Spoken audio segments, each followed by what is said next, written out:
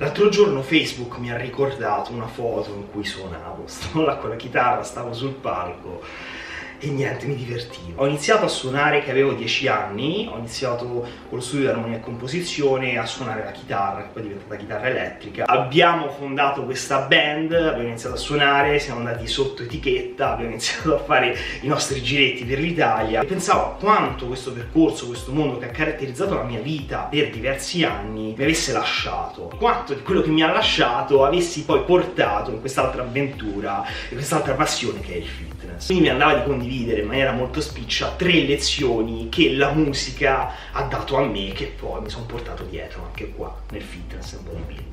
La prima lezione è che le cose hanno un senso solo nel momento in cui le provi. Io mi ricordo che mi trovavo a scrivere spartiti, a lavorare con spartiti, a confrontare questi spartiti con gli altri componenti del gruppo. E quando mi trovavo qualcosa che non era di mano mia sotto gli occhi, lì per lì mi sembrava non cogliere un senso, delle note che non ci stavano, un'armonizzazione che non andava bene, qualcosa che non c'era. Però quando mi mettevo poi a trasporre tutto quanto al computer, perché romanticismo a parte, ragazzi, ho fatto adesso tutto quanto al computer quando riportavo tutti questi spartiti al computer ne capivo realmente la logica ah, ma quella nota sta là perché ha questo valore quello è un pedale quindi ho capito adesso il senso che c'ha va a creare questa armonizzazione via discorrendo nel fitness stessa cosa leggi una scheda non ne capisci il senso non capisci perché c'è quel determinato esercizio non vai realmente a cogliere quello che c'è dietro ma quando vai là in sala la prova magari con chi hai dato la scheda quindi col preparatore allora cavolo quel cacchio di relatore sta là per quel motivo. Allora sì che lo vado a fare sì che lo vado a fare in questo modo. E questo caratterizza anche ovviamente come vai a fare gli esercizi perché se un esercizio è una preattivazione piuttosto che un preaffaticamento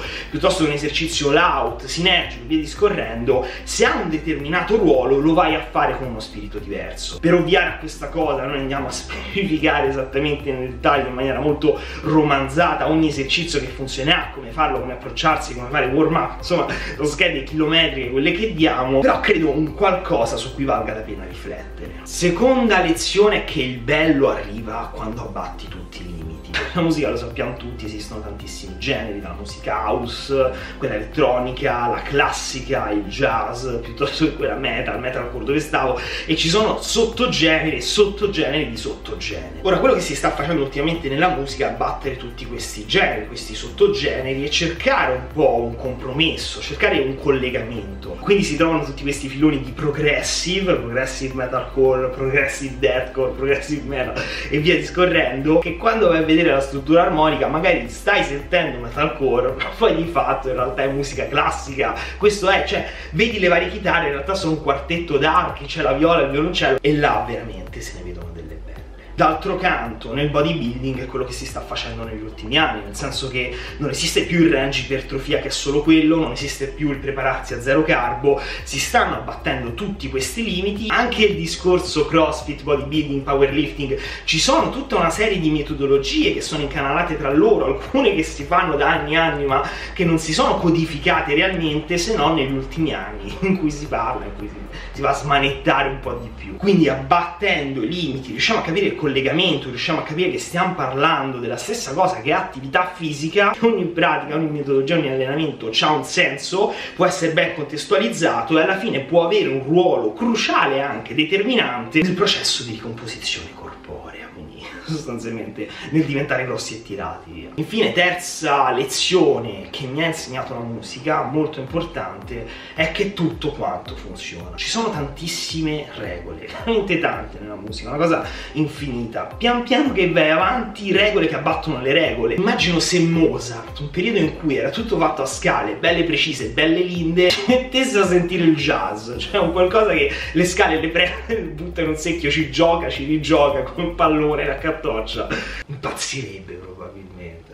Follia, si rivolterebbe nella tomba. O si pensi alla musica dodecafonica, una cosa inascoltabile per i più. Sostanzialmente si prendono le note, si mettono in un determinato ordine, a caso che ti inventi, e si fa un'armonizzazione rispettando quest'ordine. Il problema è che si prendono tutte le note, cioè dalla prima all'ultima, quindi viene apparentemente qualcosa che è veramente tosto da mandare giù. Però quando ne capisci la struttura, quando ne vedi quello che c'è sotto, allora la realizzi la bellezza di questa composizione. E nel fitness è questo di base, tutto funziona. Parliamo di chetogenica, parliamo di high carbs, parliamo di PAT, parliamo di heavy duty, di allenamento gironda, alta intensità, EDT, quello che vi pare, esiste di tutto, ma tutto funziona. Funziona quando è fatto con logica, quando è ben contestualizzato. Quindi l'allenamento ad alta densità può funzionare? Sì, funziona, se lo fai con logica funziona. Una chetogenica è una strategia che funziona? Sì che funziona, cioè si usa, la usano, non sono deficienti quella che la usano, funziona, basta che la contestualizzi bene, la fai con logica, la cards, tanto attaccata, tanto modaiola quanto ti pare, funziona, la fai con logica, funziona, devi avere un output alto, soffri la fame come un maiale, però funziona di base. E così tutto quanto. Bisogna capire la logica che c'è dietro ad ogni cosa e capendone realmente la logica, allora si può far tutto, puoi veramente far tutto. E infine un altro discorso, un'altra cosa che in realtà non mi ha insegnato tanto la musica ma l'assenza della musica, perché poi con il gruppo c'è stata un, una chiusura abbastanza netta, abbastanza brusca, diciamo, e io in quel periodo mi ricordo non riuscivo a concepire la mia vita senza gruppo, senza musica, senza questo progetto, questa carriera. Durante la settimana avevo la mia università, avevo le mie ore come istruttore in sala pesi, però il grosso lo passavo chiuso in studio a mangiare burrito, mi ricordo, però di base era quello il mio fulcro, la mia vita, stavo là a comporre, a registrare, comporre, registrare, comporre, registrare eccetera. E quando è tutto finito c'è stato un grande buco per me, un buco che ho anche sofferto molto, però che mi ha lasciato tanto adesso a ripensarci. Poi sembra tanto uomo navigato, insomma, parliamo di un ragazzo di 24 anni, però credo che sia importante riflettere su questo. Un buco che per fortuna ho potuto colmare con questa passione del fitness, col fatto che avevo il percorso universitario ancora in piedi, che stava andando bene, quindi le altre cose le avevo. E vedo persone che al fitness dedicano veramente molto molto di più la totalità della loro vita, sacrificano gli impegni, il lavoro, gli aspetti sociali, le vacanze, più o meno tutto quanto per alimentazione, allenamento e integrazione. Tre cose che ti prendono tutta quanta la vita sostanzialmente, te la ruba. Per quanta passione, e io sono il primo a dirlo, il primo a sostenerlo, il primo a viverlo, ti possono portare queste tre cose, molto semplici. Quindi concludo con una frase che lessi, mi spiace non ricordare chi la scrisse, perché la lessi così, non mi ricordo assolutamente dove, non mi ricordo assolutamente, mi è rimasta impresso perché credo che rappresenti esattamente questo. Vivete ogni cosa al massimo senza farne la vostra totalità, perché è lì che essa vi darà il meglio di lei.